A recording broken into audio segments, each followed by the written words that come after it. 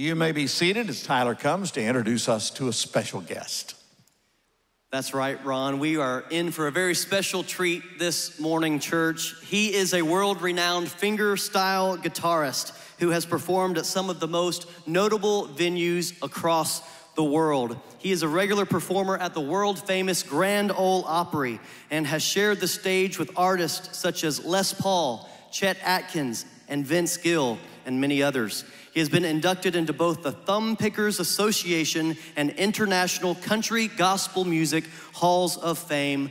Most importantly, he is a faithful husband, father, and lover of Christ Jesus. Originally from Jacksonville, Florida, he currently resides in my hometown of Cleveland, Tennessee, and is a great family friend. So glad he's with us this morning. Let's give a warm First Dallas welcome to Doyle Dykes.